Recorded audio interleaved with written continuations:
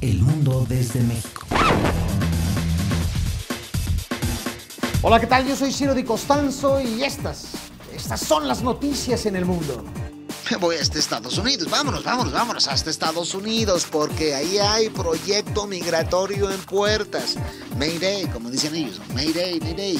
El presidente de Estados Unidos, Barack Obama, tiene previsto anunciar próximo 21 de noviembre una acción ejecutiva.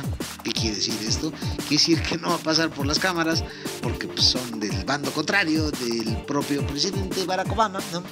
Una acción ejecutiva de apoyo migratorio en el que pretende evitar la deportación de hasta 5 millones de inmigrantes indocumentados, además de que daría permisos de trabajo a, muchos de, a muchos de ellos, según informó el diario The New York Times.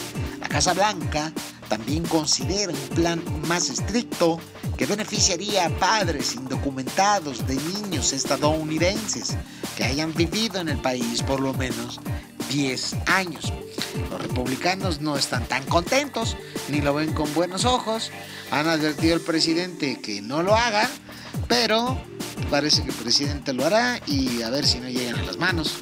En fin, eh, pero la situación es esa y la prioridad, según ha dicho la Casa Blanca, es son las personas víctimas de una pues de una política migratoria ortodoxa, vamos a decirlo así. Eh, les informo también, primera foto desde Philae, sí, sí, este robot, robot de exploración, Philae de la sonda espacial europea Rosetta, que ha posado ya sobre un cometa de más de 510 millones de kilómetros de la Tierra. Ya fue enviada la primera este, foto del cuerpo celeste, la cual muestra una superficie pues rocosa, ¿no? rugosa, con una de las tres patas de la sonda. Este proyecto para analizar el cometa tendrá un costo de nada más 1.600 millones de dólares. Échense ese trompo a la uña.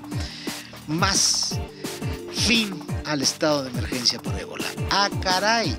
En efecto, Liberia puso fin este jueves al estado de emergencia en su lucha contra el ébola, mientras que Médicos Sans Frontiers o Médicos Sin Fronteras anunciaron que los ensayos clínicos para tratar esta enfermedad comenzarán en diciembre. La presidenta Ellen Johnson está que no cabe de felicidad. Ha anunciado la reapertura de mercados, de escuelas, debido a lo que calificó como un progreso en la lucha contra la epidemia, aunque advirtió que la batalla no ha terminado. Y bueno, dicen que no soy pesimista, sino un optimista informado.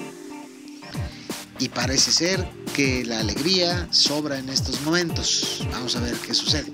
Me regreso de inmediato hasta nuestro país. En México agarran al hijo del Mayo Zambada. Sí, sí, Ismael Zambada Imperial, alias el Mayito Gordo. Pero él mismo ha dicho que ya no está gordo.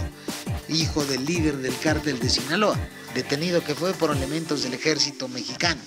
Río 12, que es un, semanario impreso en Sinaloa, afirmó que fuentes extraoficiales le informaron que un grupo especial del ejército realizó este operativo en la estancia de Burgos, allá en El Salado, en este estado norteño de la República Mexicana. Así son las cosas y así se las hemos contado a usted. Manténgase informado a través de bluereport.com.mx y aquí a tu mundo. The Report. El mundo desde México.